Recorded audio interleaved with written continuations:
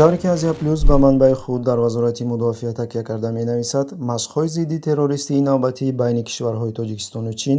аз санаи 8 то 11 август дар ноҳияи ишкошими вилояти мухтори кӯҳистони бадахшон баргузор гардид. Дар машқҳои мазкур баталиони аскарон ва афсарони қӯшунҳои мобилии вазорати мудофиаи тоҷикистон ва як ротаи қӯшунҳои чинӣ иштирок варзиданд ҳайати низомии чин маҳалли гузаргоҳи назорати кулма қарасуро ки дар марзи тоҷикистону чин ҷойгир аст санаи 7 август мегузарад.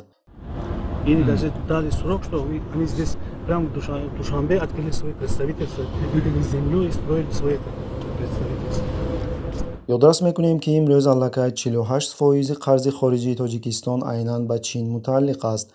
ғайр аз ин соҳаи канданиҳои кӯҳӣ дар кишвар қариб куллан дар ихтиёри ширкатҳои чинӣ мебошад ки бо сабаби он аксарият мутахассисон бонк зада истоданд вақтҳои охир мушоҳидон таъсири низомии чин ба тоҷикистонро қайд менамоянд? Масалан дар моҳи феврал ҳафтаномаи амрикои вашингтон маводеро нашр намуд ки нуқтаи гузаргоҳи ваҳон дар ноҳияи мурғобро марзбонони чинӣ назорат карда истоданд